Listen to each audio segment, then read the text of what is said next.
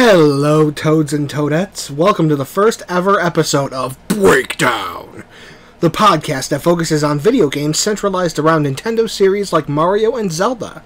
While those games are the main focus of this podcast, there are many others that can be discussed on this channel, even ones from other developers like Sony or Microsoft. We here at Breakdown have a love for all video games. If you wonder why Breakdown sounds like that, it's because of our logo, a thwomp from the Mario series, and the noise it makes when it moves. If you're unfamiliar with it, I highly recommend looking it up, although I will do my best impression here. And of course, that's uh, why we got the breakdown. The first thing I'd like to discuss on this very first episode of Breakdown is the recent Breath of the Wild 2 trailer, the one at E3 2021, uh, the second trailer for Breath of the Wild 2. We still don't know the title yet um, because they don't want to give it out because it is supposedly going to give away something to do with the game. I have a couple theories. Um, some are from YouTube videos I've seen, some are from personal theories I have, um, but I just would like to discuss what I think the game is about and what my personal opinion of the trailer we have received is. Firstly, I'd like to discuss the first trailer, actually. Um, the one that we were introduced to about, was it two years ago now? It was like June, sometime in June uh, 2019 that we were introduced to Breath of the Wild 2 for the first time. And for my YouTube viewers, I'll edit in the video. But obviously, since this is a podcast, you guys can't see, you know, what I'm talking about. Um,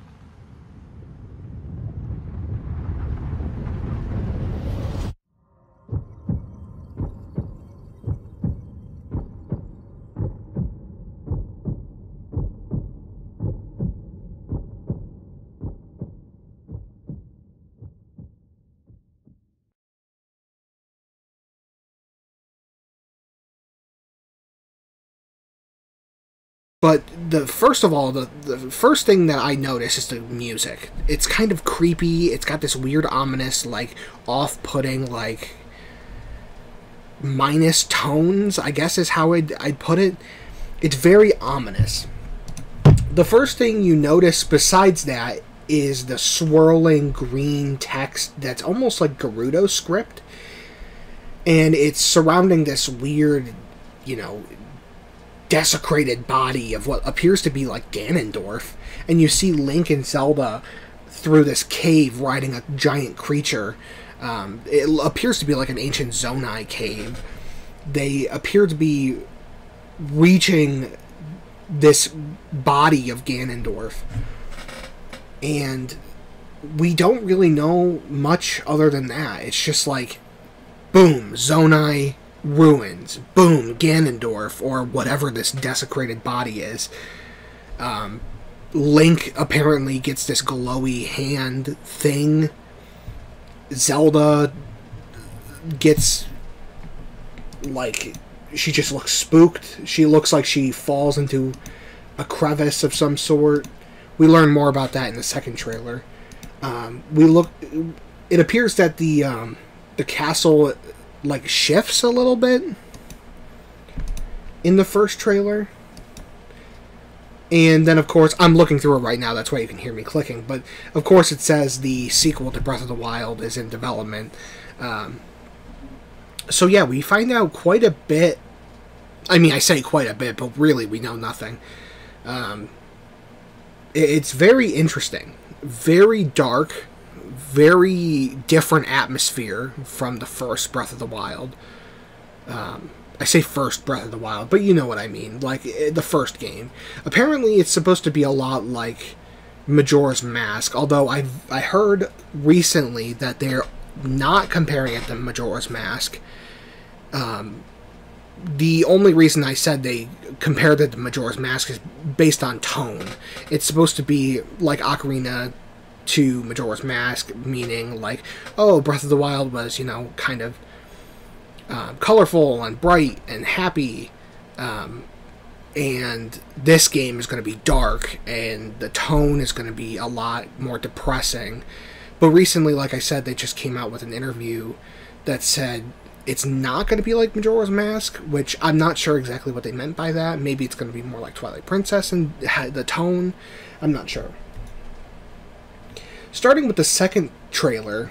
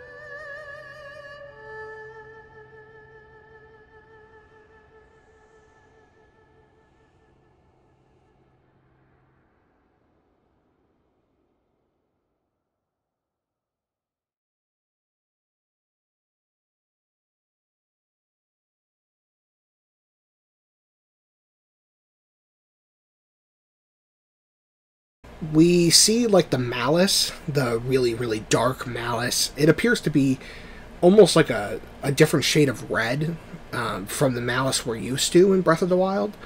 And we see the Ganondorf figure, and we see Zelda falling into the crevice. Uh, it looks like a bottomless pit, almost. Uh, and then we see Link like falling from the skies, or what appears to be Link. My theory is that we're going to be, be we're going to be playing as an ancient Zonai hero, the one from 10,000 years ago.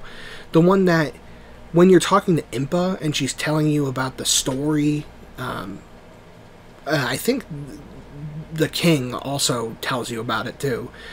Uh, spoiler alert.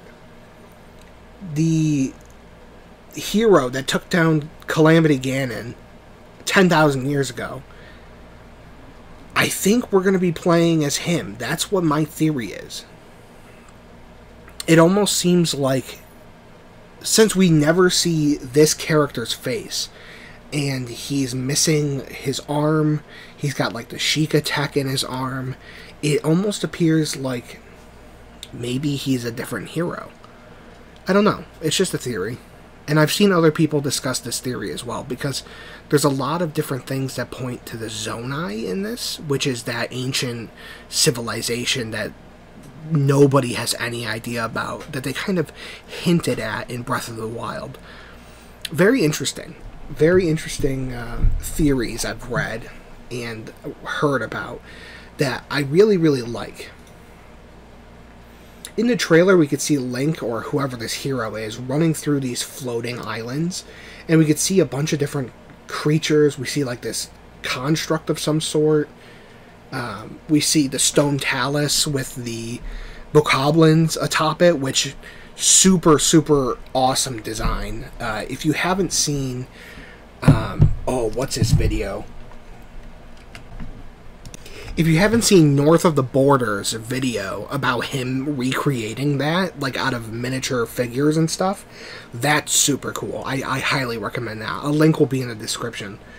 Um, that looks very very cool. Then we see Link with his or whoever this hero is with his powers. You know, we see like a flaming shield. Um, we see like the water element thing, more floating islands. Then we see the castle floating up with like all the malice and stuff. Very crazy stuff. Really, really nuts. And then we see the 2022. That's when it's gonna gonna come out. So I'm super hyped. I don't know about you guys. The um the breakdown for this though, breakdown is pretty straightforward.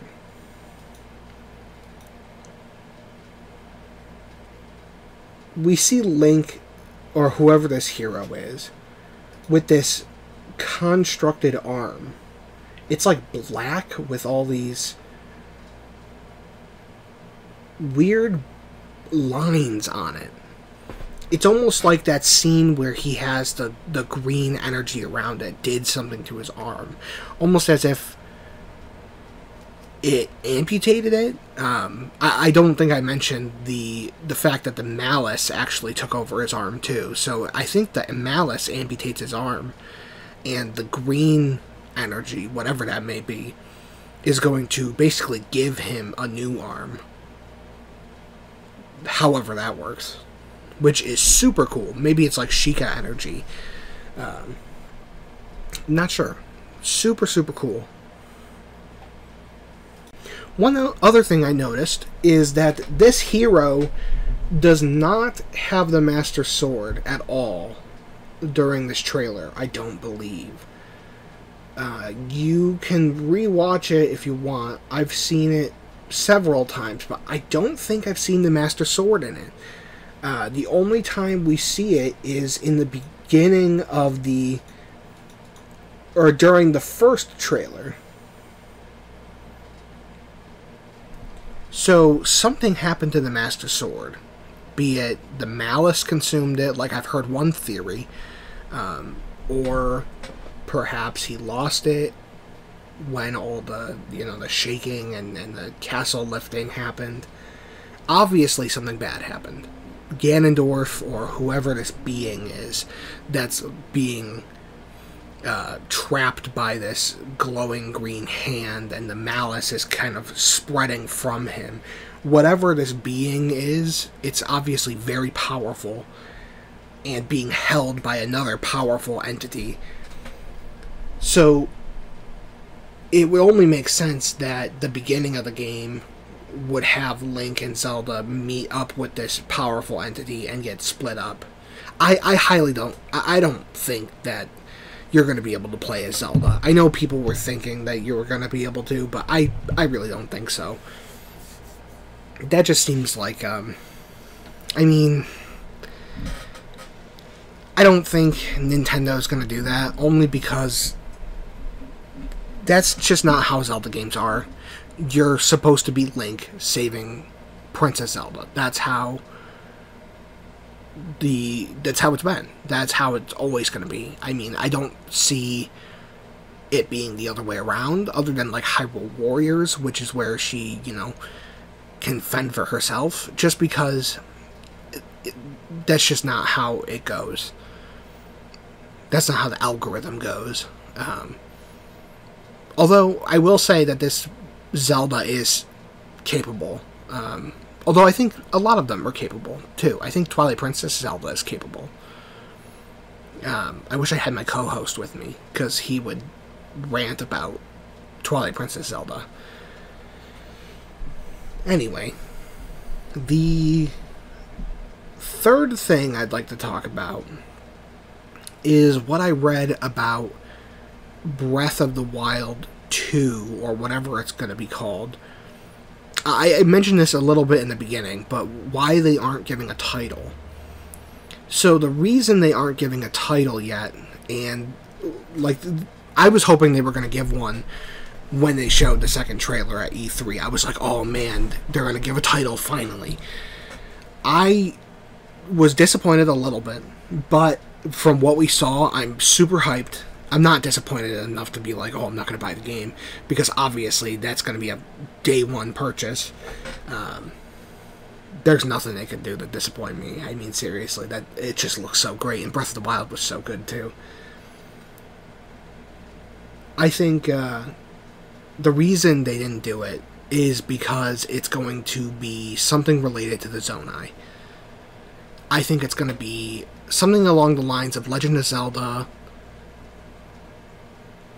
you know, Legend of Zonai, or Legends of Zonai, Tales of the Zonai, Hero of Zonai, you know. I don't know. It might not be.